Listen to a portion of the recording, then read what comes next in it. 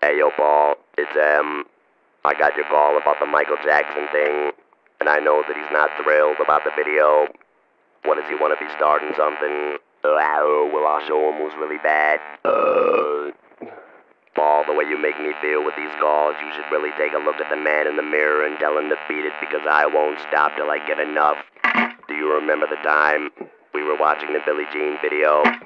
Well, it'll always be that Michael to me, and it doesn't matter if he's black or white because I can't stop loving him, and I hate plastic surgeons, and I hope they all fucking die. How do you like that? And I like him. I like him a lot. I want to touch him, but I can't.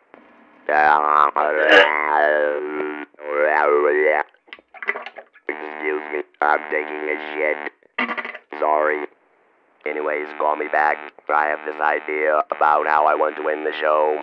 So, hit me when you get this message, fucker.